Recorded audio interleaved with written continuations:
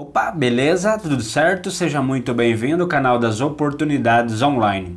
Como consultar o score? O score, para quem não sabe, é aquela pontuação que você vai recebendo ou perdendo conforme o seu relacionamento com o mercado. Você tem um histórico, qualquer pessoa aí a partir de 18 anos vai ter, vai ter um histórico.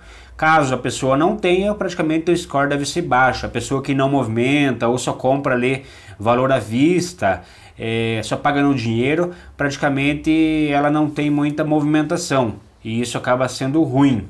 Já conheci muitas pessoas que pagam somente à vista, daí quando querem fazer um financiamento elas têm dificuldades.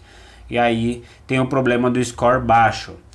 E até pensando nisso, para quem tem pessoas com score baixo, deixarei na descrição desse vídeo um link que pode ser útil a essas pessoas que estão com essa dificuldade.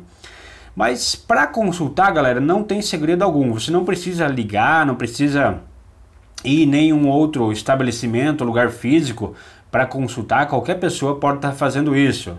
Basta fazer um cadastro no site, que é bem simples esse cadastro no site Serasa Consumidor ao qual deixarei na descrição desse vídeo. Lá você vai estar tá colocando teu CPF, nome completo, data de nascimento, um e-mail e criar uma senha.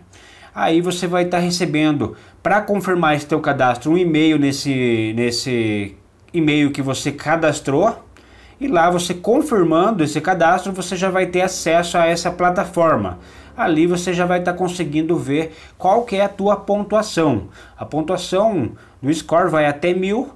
Quanto mais pontos você tiver, melhor aí a sua avaliação. Se você tiver 700, 800, é muito bom e 900 acima é excelente. Aí você vai ver ali o ponteiro, se tiver abaixo de 400, 300, vai ficar vermelho, você já vai ter uma ideia que a avaliação não está muito boa. Então isso aí, galera, não tem muito segredo. Você pode estar tá fazendo isso pelo celular, pelo site, de qualquer forma aí, é, não tem segredo algum. Isso aí, galera. Espero ter ajudado e um grande abraço.